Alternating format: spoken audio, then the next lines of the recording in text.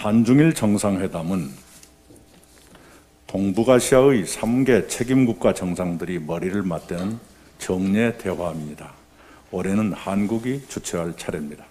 이번 한중일 정상회담은 코로나19와 경제의 위기라는 세계의 당면 과제를 극복하는데 한중일 3개국이 함께 기여하기 위해서도 필요하다, 필요하고 시의적절합니다. 그러나 스가 요시히데 일본 총리는 한일 간 역사 문제를 들어 불참 의사를 피력했습니다. 몹시 실망스럽습니다.